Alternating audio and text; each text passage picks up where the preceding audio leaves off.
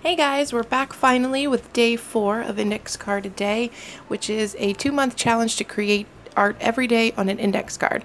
So I'm starting out with a gessoed surface on my index card and I'm just taking a piece of acetate and some Handmade Modern, which is a Target uh, brand of acrylic paint in the color slate and I'm adding a little water to that on my um, acetate sheet and I'm going to smoosh it around on my index card. And I added water because I really want a light, subtle layer of color.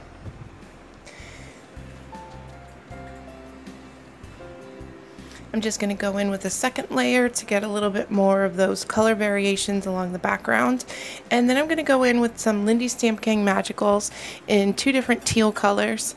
And I'm going to do the same process, add water to the pigment powder and then smoosh it using my acetate sheet on the index card. I'm going to dry the first layer and then go in with the second layer. This color is Tibetan Poppy Teal and it's quite a bit more has more blue in than the first color. The first color lent more green, so it's a, a nice variation of color. And then once I'm happy with that, I'm going to make sure that's completely dry. And then I'm going to run an anti-static tool all around the index card because I'm going to emboss with this stamp by Viva Las Vegas Stamps. It's like a rose cluster. It's designed by Kat Kerr. And I'm using some extra fine embossing powder by Recollections, which is a Michaels brand.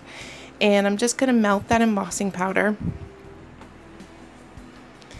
I'm really still trying to stick with the simple um, cards, the simple easy cards, because I'm quite a bit behind now.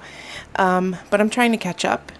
I have, I think, 13 videos to edit. So um, this is a Finnabair, stamp with the Letter It ink by Ranger in the shadow gray color. And um, it's just like a script. And then the other one is like little dots. And then, so here I have some die cuts that I cut out on my um, Cricut electronic cutting machine and I don't end up using this but I let it I left it in because the um, die cut that I do end up using I assembled in a similar way.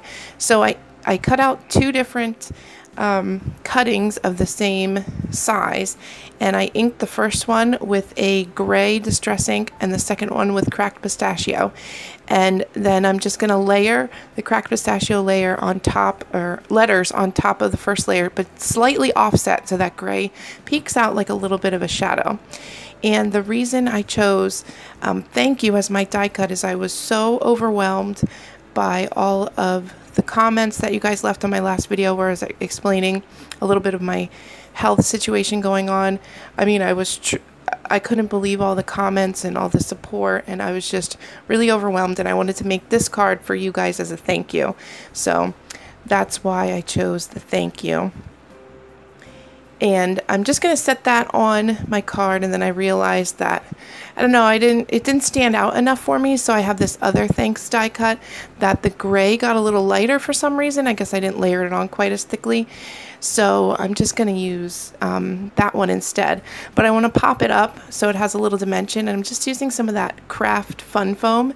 You can get it in the kids craft section of Walmart or Joann's, Michael's, any craft store, anything like that. And they do have some that has adhesive on it, and mine does have a sticky adhesive on one side, but um, you have to glue the other side down. And now I have some of these clear droplets and I'm just going to layer them around. I love using them. They're such a nice subtle little touch and um, I think it adds just a little something extra to the card. So like I said, this one's for you guys. I really, really appreciate all your comments and I'm back. I'm feeling so much better. And I, like I said, I have 13 videos to edit and um, going to try to get them out every day. So please stay tuned and I hope you enjoyed this one and thank you so much again. Bye-bye guys.